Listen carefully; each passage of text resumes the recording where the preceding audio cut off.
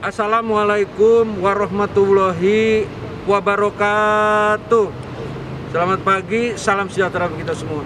Saya Wali Kota Bekasi pagi hari ini, sore dan malam menghimbau kepada Bapak Ibu sekalian warga Kota Bekasi yang sangat saya sayangi. Sekarang sedang terjadi cepatnya penyebaran pandemi COVID-19 yang sangat tinggi di Kota Bekasi.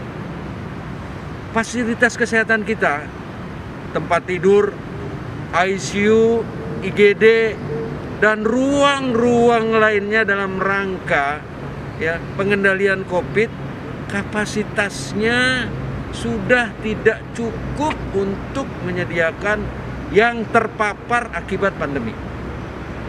Oleh karena itu saya menghimbau seperti himbauan Bapak Presiden untuk di rumah saja jika tidak mempunyai kegiatan yang sangat luar biasa. Patuhi standar prokes dengan menggunakan masker, selalu mencuci tangan dan hindari kerumunan yang ada. Jaga jarak dan lebih baik mencegah. Masker untuk Anda adalah keselamatan juga untuk saya.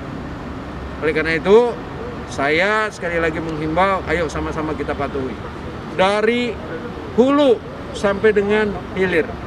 Sehingga kita selamat dan kota Bekasi mampu mengendalikan dan terbebas dari pandemi COVID-19. Terima kasih. Wassalamualaikum warahmatullahi wabarakatuh.